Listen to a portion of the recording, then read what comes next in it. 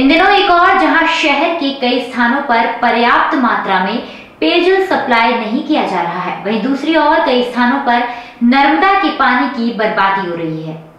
महुनाका से लाभरिय भैरव चौराहे की ओर जाने वाले इस मार्ग पर एमओजी लाइन के निकट यह नज़ारा रोज सुबह नर्मदा पाइपलाइन में जल सप्लाई के दौरान देखा जा सकता है। यह पिछले दिनों डिवाइडर बनाने का काम किया गया था, जिसमें यहाँ मौजूद लाइन फूट गई। इसी का नतीजा है कि यहाँ हज़ारों लीटर पानी सड़क पर रोज़ाना ऐसे ही बह जाता है। यहाँ से नगर निगम के अधिकारी कई बार गुजरते हैं, लेकिन फिर भी उनका ध्यान इस और नहीं है। यह तो एक उदाहरण है।